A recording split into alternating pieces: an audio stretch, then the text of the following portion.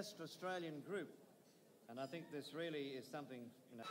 And the winner is. and the winner is. Oh, boys, you're going to be pleased about this. In excess, Listen Like Thieves. Well, it's grown up night tonight, isn't it? There's one missing.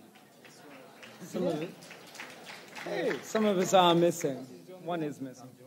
I'd just like to say, well, thank you for uh, to the industry tonight. Thank you for your attention, and uh, it's good to see something like this happening at last, if you know what I mean. Um, and I don't know, I thought we were actually too late for this one.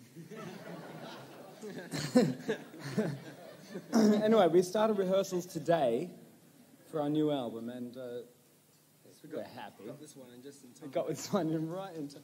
This is going to get us through. Thank you very much. Thank you. Australia, this is just the beginning.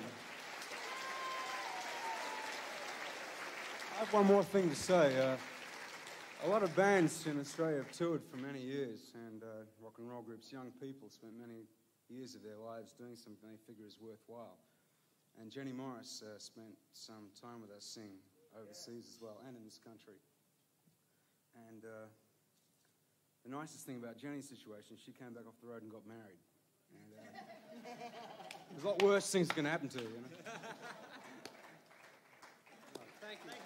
Thank you to WEA very much. And Chris Murphy.